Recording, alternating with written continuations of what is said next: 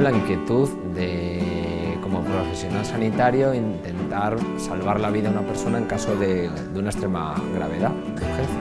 De poder aprender y de sobre todo intentar ayudar en una situación de cuando hay una emergencia una urgencia, no ser útil y saber mantener un poco la cabeza en su sitio ¿no? y poder ayudar e intentar salvar, salvar vidas.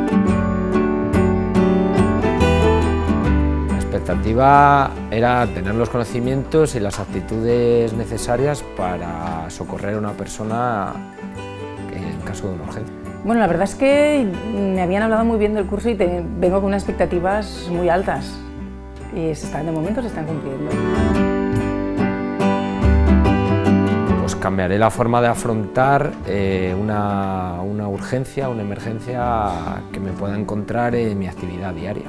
Me está ayudando a mantener un poco la calma, bueno, supongo que en un momento de crisis todos podemos reaccionar de una manera, ¿no? pero bueno, hay un, como una metodología y luego intentaré, si puedo o no, pues hablar con los ayuntamientos o con el ayuntamiento de mi zona a ver si, bueno, plantear un poco cuántos desfibriladores hay en la zona y mirar a ver si puede colocar uno en la farmacia o no. Bueno, esto es a valorar.